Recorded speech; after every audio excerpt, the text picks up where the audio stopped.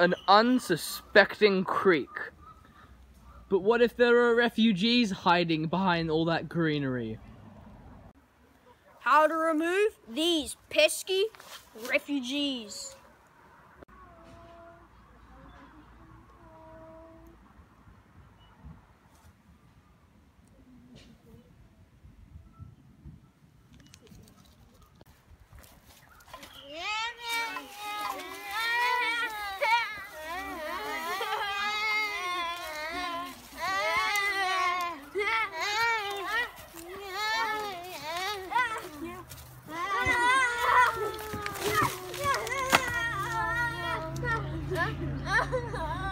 Got those pesky refugees!